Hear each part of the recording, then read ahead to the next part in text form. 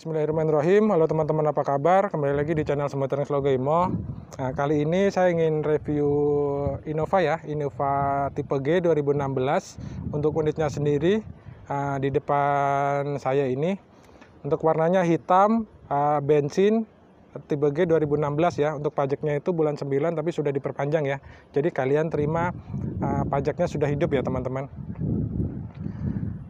untuk keseluruhannya seperti apa? Yuk kita cek bareng-bareng.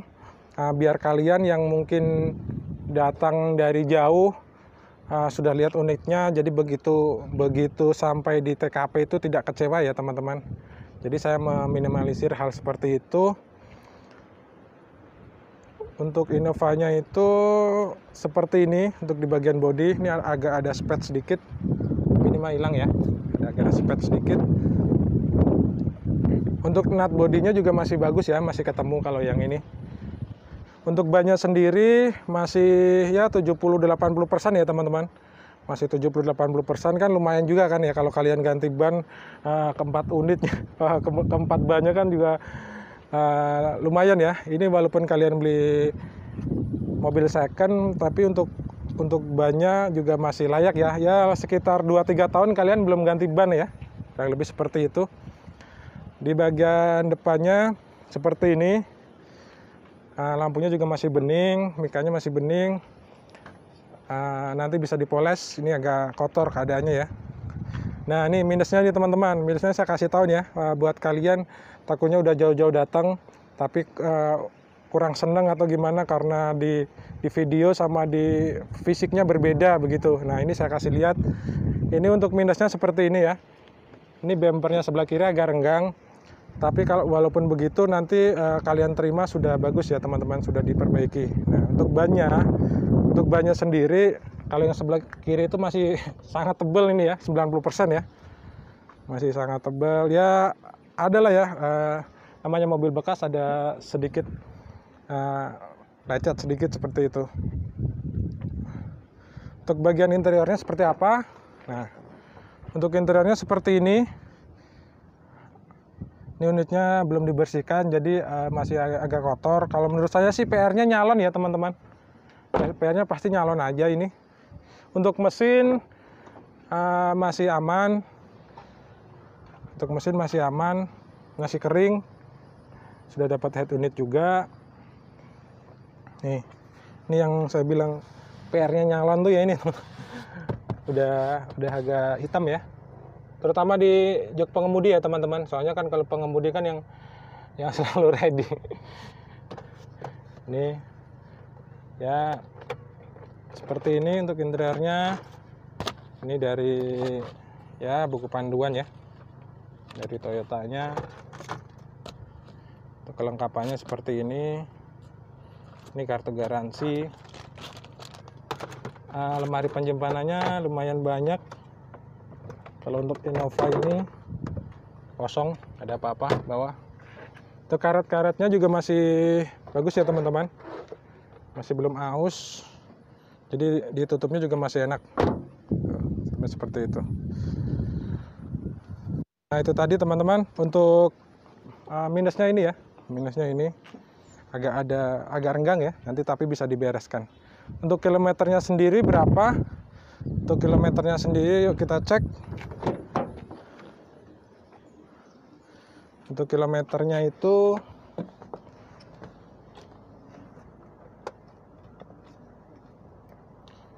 untuk kilometernya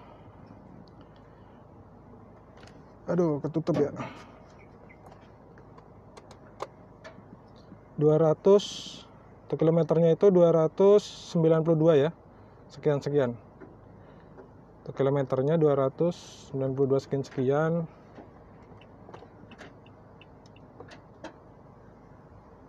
Nah itu untuk kilometernya. Silahkan. Sudah dapat unit double din. Ini agak ada yang copot. Unitnya seperti ini ya. Uh, saya mending saya bilang minusnya aja sekalian biar kalian tidak tidak kecewa nantinya kalau ada minusnya ya dibilang ada minus kalau misalnya enggak ya enggak. Soalnya namanya mobil kan harganya mahal ya teman-teman. Takutnya kalian udah ngeluarin uang banyak tapi kurang puas. Nah, di videonya bilangnya bagus bagus bagus tapi ternyata giliran di lokasi nggak bagus. Nah seperti itu teman-teman. Ada juga yang bertanya seperti itu biasanya uh, untuk yang mobil-mobil premium itu saya lebih hati-hati karena ya itu tadi takut misalnya nggak sesuai. Kalau untuk yang mobil-mobil kayak limo mah ya kan barterannya banyak. Misalnya ini lampunya kurang ini mas. Barter yang ini bisa. Kalau untuk yang mobil-mobil kali ini masih lebih hati-hati. Untuk mesinnya seperti apa? Kita cek mesinnya ya, ya lumayan kencang teman-teman. Semoga tidak berisik ya. Semoga tidak berisik. Anginnya ini agak kencang. Nah untuk di bagian ruang mesinnya seperti ini. Masih ya namanya mobil jalan ya teman-teman. Jadi agak ada kotor. Agak ada kotor kurang lebihnya seperti ini. Ya ini unit yang masih apa adanya jadi kalian bisa bisa tahu untuk bagian sini uh, rangkanya juga masih normal ya teman-teman.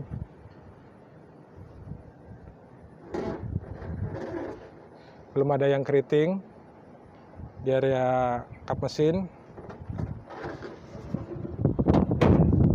Ini pilihan kalian yang mungkin pengennya mobil yang MPV MPV yang untuk keluarga yang lebih besar ya teman-teman. Kalau yang limo kan ya paling buat 4 sampai 5 orang lah ya. Cukup buat anak sama istri atau mau sama mertua juga bisa. Silahkan. Untuk panel-panelnya normal semua. Panel-panelnya sudah normal masih normal semua ya teman-teman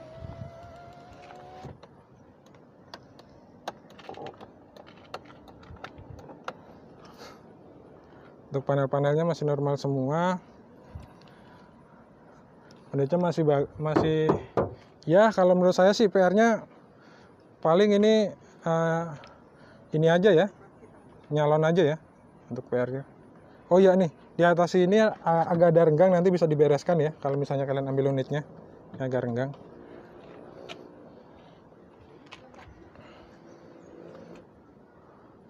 Untuk bagian dalamnya seperti ini. Nah, untuk uh, setirnya ya ada agak kendor dikit ya. Untuk setirnya seperti ini ya masih ya namanya mobil buat jalan ya teman-teman. Ini sudah lengkap yang ada buat uh, audio buat volume uh, up volume down untuk volume up volume down untuk telepon angkat telepon ya seperti ini ya teman-teman. Untuk keadaannya. Sudah dapat holder juga. AC-nya juga udah dingin. Silahkan. Bagian langit-langitnya. Ada tempat kacamata. Untuk mobilnya seperti ini silahkan. Apabila kalian minat silahkan japri saja. Atau mungkin di luar kota. Tapi sebelum kalian uh, ambil unit dipastikan dulu ya untuk unitnya itu masih ada atau enggak ya teman-teman. Soalnya uh, Innova khususnya Innova Avanza uh, Mobilio itu cepat ya teman-teman. Cepat untuk uh, lakunya.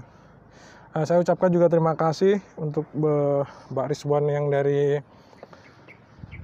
dari Indramayu sudah ambil unitnya. Limogen 3 Limogen 3 ambil unitnya nah, nanti videonya insya Allah nyusul. Kurang lebih keadaan seperti ini ya teman-teman. Nah, saya sudah kasih lihat untuk unitnya seperti ini untuk minusnya seperti apa itu sudah saya kasih lihat. Kilometernya itu 290 sekian sekian. Untuk bagian depan seperti ini interior untuk mesin untuk lampu-lampu kelistrikan normal semua ya teman-teman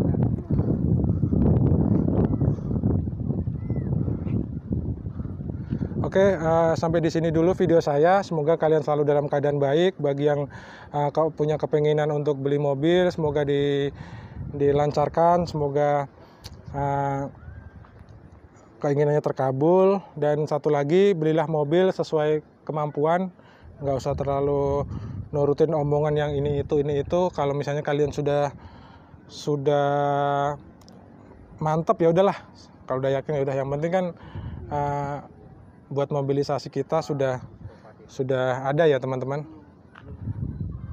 oke uh, terima kasih saya akhiri uh, cukup di sini untuk video saya. Saya akhir sampai di sini video saya. Uh, jangan lupa subscribe. Uh, terima kasih dan selamat siang.